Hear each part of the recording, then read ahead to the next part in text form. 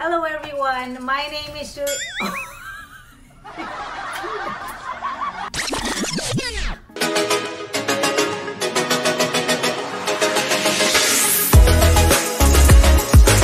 Hi everyone, my name is Julie Eigenmann and this is Peanut. Say hi Peanut. If you're new to my channel, welcome. If you've been here a while, hello again. Anyway, guys, so today I am going to be decluttering. Finally. I know I should have done this in the beginning of January, but I've been because I've been so lazy. But um, I've recently gone on a beach trip with my family, so I am recharged. I have so much energy in me, and I am so ready to declutter this home. So let me show you how I do it.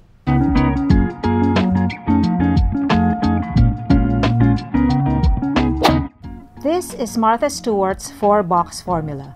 I've been following this decluttering method for many years now.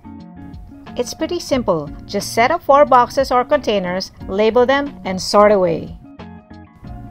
Only keep those important items and those that continue to add value to your life. Toss away things that are broken and items that no longer serve you. Peanut, this is broken. We have to throw this away. We have to throw this away already, darling. Look, it's already broken. We have to put it here. The toss. I'm gonna toss it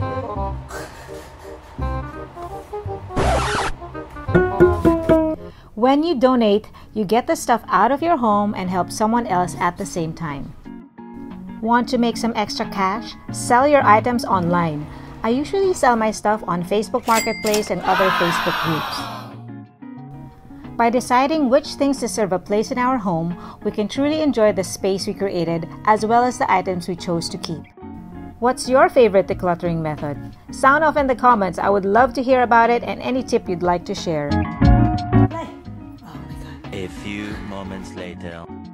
So, I'm not even halfway there yet. I just wanted to shoot this video, um, you know, so it could somehow help you guys. So if you found this video helpful or inspiring, please give it a thumbs up and please subscribe if you haven't done so yet. From me and Peanut, bye guys! Bye Peanut!